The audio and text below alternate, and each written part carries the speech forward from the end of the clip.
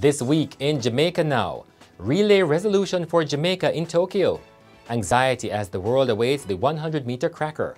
We'll hear from top contenders Elaine Thompson-Herah and Shelly-Ann Fraser-Pryce. Then, Mandeville taxi operator arrested after gruesome bludgeoning of another in a dispute over a passenger. Teachers frown as Prime Minister hints at preferential treatment for vaccinated educators. Tighter curfews as COVID cases rise and more stringent measures are coming. I'm really sorry.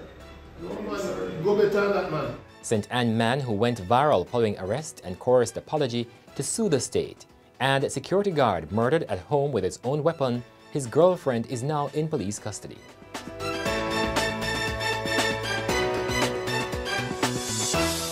I'm Damian Mitchell and this is Jamaica Now. A resolution has been reached to quench Jamaica's sprint relay wars. Earlier, there was concern that Shelly-Ann Fraser-Pryce, Elaine Thompson-Herah and Shericka Jackson had been entered to run in the relays, which would start two days after the 200-meter final. For more on this development, here is the Gleaner's Andre Lowe in Tokyo. Well, the latest information we have, latest update, is that the issue around the women's 4x100 meters relay team has actually been resolved. The J3A administrators were able to um, make the adjustments and bring in Natasha Morrison, who was previously an alternate.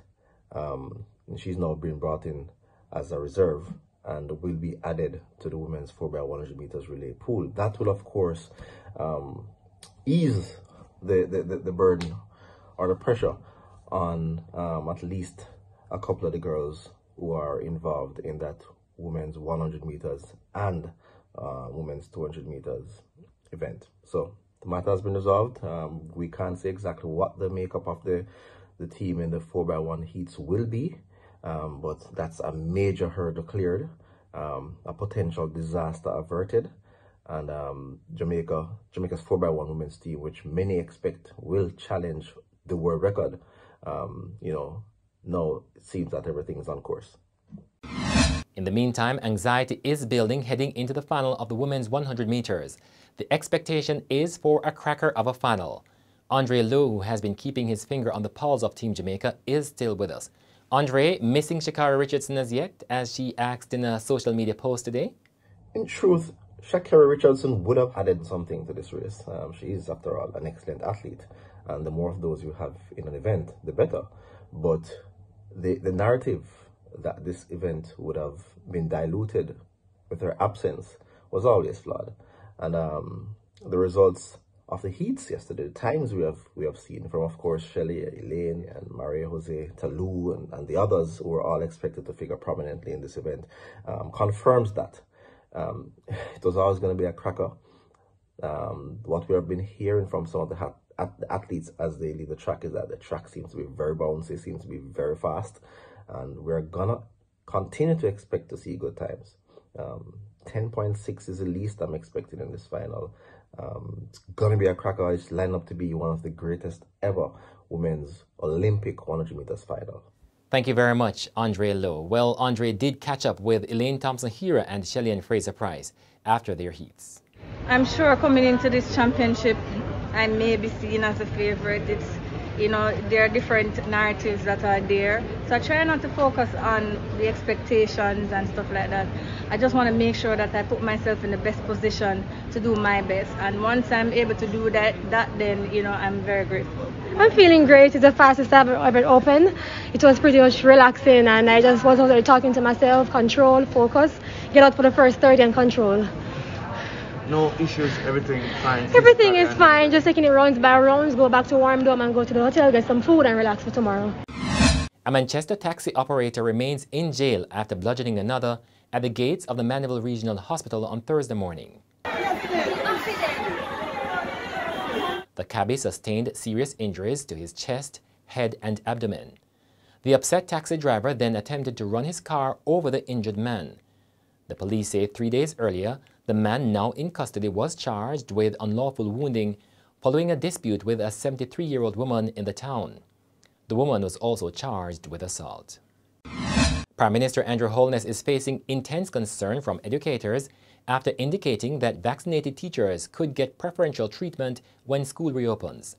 According to the Prime Minister, this would be only fair. We are not going to go down the route of making anything mandatory, but at the same time, uh, I think we would have to consider uh, ensuring that teachers who are vaccinated and who turn up to work, uh, that uh, they are treated uh, in some preferential way. And those who don't turn up to work, we may have to ask them to be tested. We may have to be considering what should happen regarding how they are remunerated. But the proposal has been met with skepticism by educators, two of whom appeared on the Gleaner's A Section podcast this week. It seems as if we're going to be having very interesting days ahead um, as it relates to the Prime Minister continuing his, his, his um, communication to us he made mention about remuneration, and um, I think antennas are going up. The, the, mere fact he talks about remuneration, you know, I'm not too sure what it is that he's thinking. If, if those individuals who have been vaccinated, if they will be getting a, a better um, salary than those individuals who are not vaccinated, and, and then we will have to look at the, the legality of that if that is where his headspace is. I am sure that the teachers of Jamaica will not stand for any other inequity within the sector at this time. In the meantime, the Prime Minister has announced new COVID curfew hours as the daily case count continues to soar to an average 135. The positivity rate is now averaging around 18%, up from a single digit, and hospitalizations have gone up. Of the 715 beds in the public health system, more than 300 are occupied. Seven hospitals are now on amber alert and four on red alert. The Prime Minister says as a result, he has to act now, and so curfews on Mondays to Saturdays will now run from 8 p.m. to 5 a.m. On Sundays and public holidays, it will run from 3 p.m. to 5 a.m. the next day. So these are really preliminary measures. Uh, come the 11th, we will have to take even tighter measures to ensure that we do not see a massive spike. As the minister pointed out, that there is a lag. So what we are seeing now, in two weeks' time, it will probably be worse. The St. Ann man who was taken into police custody shortly after he made remarks about Prime Minister Andrew Holness over the change in the curfew hours is taking steps to sue the police and the government. Andrew Holness, me, name Shaquille Higgins, live on Main Street, man. Come to me now. You're a real waste, man, yo. But by Andrew. How we man? Go 8 o'clock curfew. After man plan to blow Marco Polo come boy. Hey boy, go. Attorney at law Charles Gangasingh says, among other things, the suit will be filed on the grounds of invasion of privacy and the malicious manner in which the man was taken into police custody. I'm really sorry. The police had issued a statement saying the man was arrested in connection with a larceny matter. But following public backlash, the commissioner ordered a probe into the conduct of cops, saying an apology should not be forced from a suspect. The girlfriend of a St. Ann security guard remains in police custody in connection with his murder.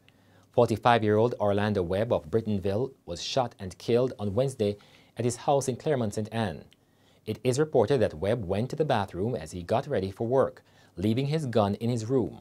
His girlfriend got hold of the weapon and fired several shots, hitting him multiple times. He died on the spot. And that's it for this edition of Jamaica Now, your weekly review of the big news stories.